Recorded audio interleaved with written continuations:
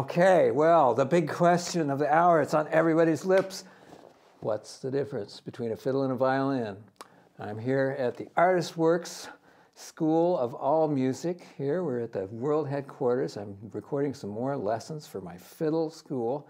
And uh, just flying out here on the plane, uh, with my, I was traveling with my fiddle case, and I, the guy behind me said, Hey, I got a question for you. What's the difference between a fiddle and a violin? Well, I think that most people know the joke. The best joke about the difference between a fiddle and violin is that nobody cares if you spill beer on a fiddle.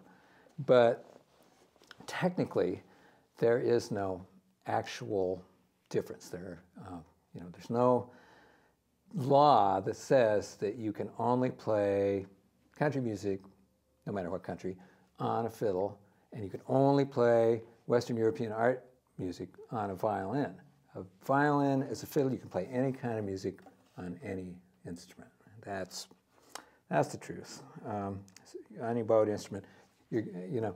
So that's really, it's just about the style. And I know many very wonderful professional classical musicians, uh, violinists, that do occasionally refer to their instrument as a fiddle. It's just a term of endearment, really. It's just this, this old fiddle. Um, and there are, it comes, of course, from uh, a German word meaning fiddle, violin, same thing. And so it's really, they're interchangeable. Now, that said, uh, there are some loose definitions. Um, if you are playing music from sheets, if you're playing dots, if you're reading,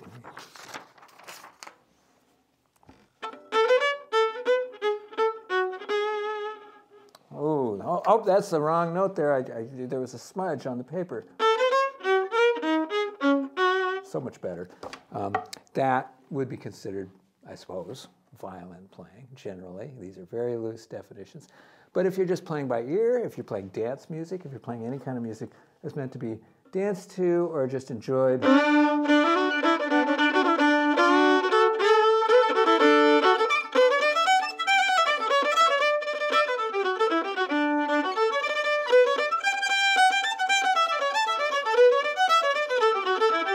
No matter what style, whether Celtic, country, uh, you know, Brazilian, you know, any kind of, you know, Swedish fiddle music, that's fiddling, where you're playing, you might be playing something that's worked out, set in stone, but you're playing it by ear, you're playing it from memory, um, or you might be making it up. Jazz violin, you're still making up your solo, right? But jazz fiddle, you're still making up your solo. So it's just, uh, you know, it's, it's very uh, a loose definition. But I would say the fiddle is anything that's sort of vernacular. Um, it's not, you know, um, that you can tap your foot to.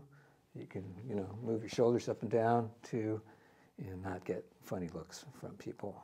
So, yeah, um, some fiddles might have a little flatter bridge. You can see that the bridge is curved so that you can get to each string without getting in the way of the other strings. Uh, many fiddles have a flatter bridge. Um, a lot of fiddles are pretty beat up, but I know a lot of beautiful violins that are also pretty beat up. 400 year old violins that have been around. They've got plenty of scratches in them. They sound fine.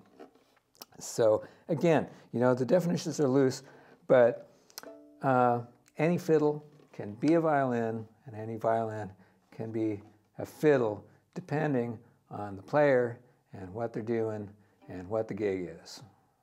So that's my answer. So if you want to know about this issue and a lot more, come hang out at the ArtistWorks School of Fiddle. That's my online fiddle school at artistworks.com. And I've got interviews and all kinds of lessons and all kinds of information about the fiddle, the violin, and everything in between, including the bow. Ha!